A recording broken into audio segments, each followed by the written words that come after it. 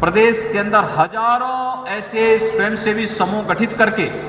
उन्हें स्वावलंबन की ओर अग्रसर करके ग्रामीण अर्थव्यवस्था को जहाँ एक नई ऊंचाई दे रहे हैं, वहीं साथ ही साथ वन डिस्ट्रिक्ट, वन प्रोडक्ट की अभिनव योजनाओं को आगे बढ़ाने का कार्य भी हो रहा है। मुझे प्रसन्नता है कि पहले समिट में हम लोगों ने जब आदरणीय राष्ट्रपति जी हमारे समिट का उद्घाटन करने के लिए लखनऊ में आए थे तो उस समय इस उद्यम से जुड़े हुए उद्यमियों को या जो नया यूथ इसके साथ कार्य करना चाहता है, उस समय एक हज़ार करोड़ रुपए से अधिक का लोन, चार हज़ार से अधिक उद्यमियों को और नौजवानों को वितरण करने का कार्य किया गया।